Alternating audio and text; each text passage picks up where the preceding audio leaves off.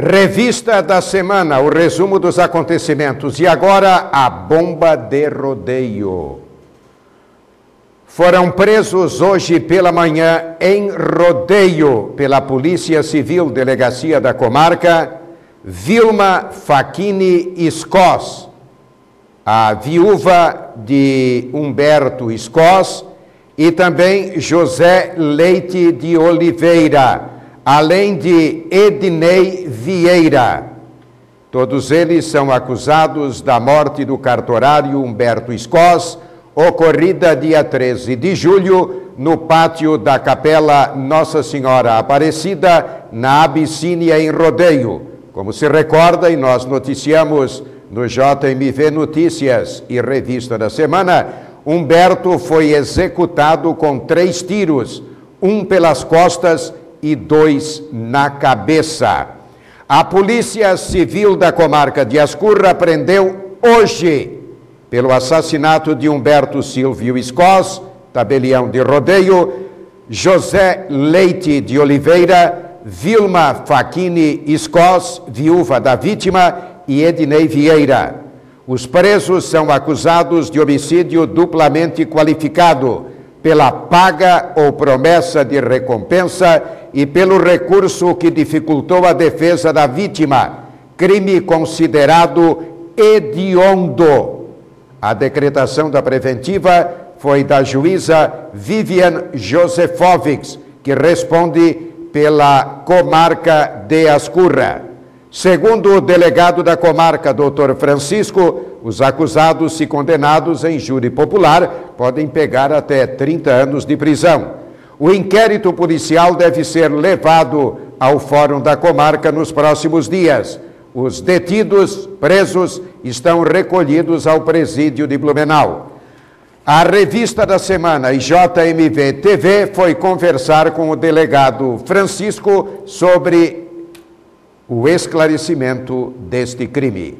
A repórter é Alexandra Blasius. Estamos aqui com o delegado Francisco. Ele vai explicar um pouquinho mais sobre o assassinato que aconteceu no dia 13 de julho na cidade de Rodeio. Eu queria que você falasse um pouquinho sobre a atuação da polícia, que já pegou é, os suspeitos, né? Suspeitos, ou eu não sei como é que a gente pode citar essas pessoas. É, no momento eles são indiciados. O assassinato do tabelião Humberto Scos ocorreu no dia 13 de julho do corrente ano. Ato contínuo, as investigações iniciaram pela delegacia de Rodeio Posteriormente, eu achei por bem trazer as investigações para a delegacia de Ascur. Então, houve um trabalho conjunto, delegacia de Rodeio e delegacia de Ascur. As investigações culminaram no dia de hoje com a prisão de três indiciados, três suspeitos, sendo eles Vilma Scos, viúva da vítima, José Leite de Oliveira e Diednei Vieira, que são os três principais suspeitos de terem cometido o homicídio duplamente qualificado do tabelião Humberto Scos.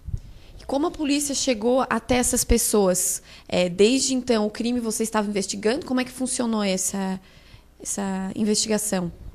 O trabalho da polícia judiciária é justamente esse: atua repressivamente posteriormente ao crime, colhendo elementos de prova, apresentar esses elementos de provas ao poder judiciário para que assim eles sejam julgados pelo crime que eventualmente tenham cometidos. Então, as investigações iniciaram. Logo após o assassinato, as investigações começaram. Foi, foram feitas diversas perícias, diversas representações judiciais, todas acatadas pelo Poder Judiciário, e culminaram agora com a decretação da prisão dessas três pessoas. Como você falou, a, a esposa do Humberto também está tá no meio dessa história.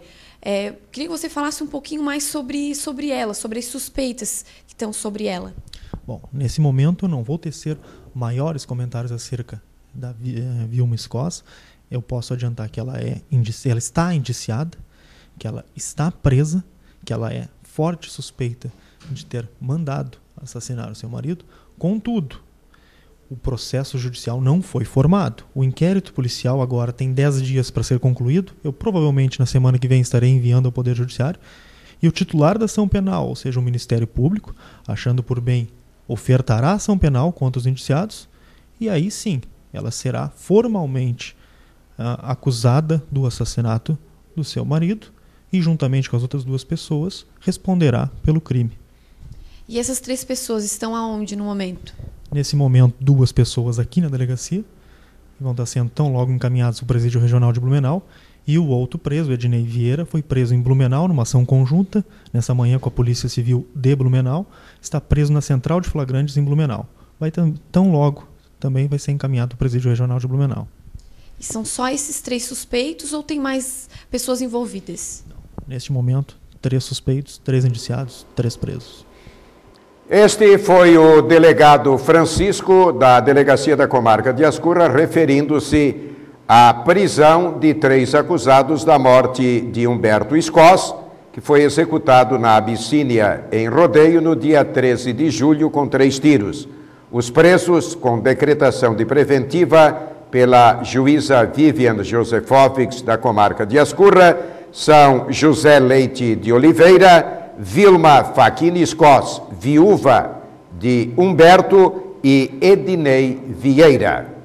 Revista da semana chegando ao seu final. A todos vocês, um bom final de semana e permaneçam com a JMV TV, recomendando a seus amigos www.jmv.tv.br. Bom fim de semana.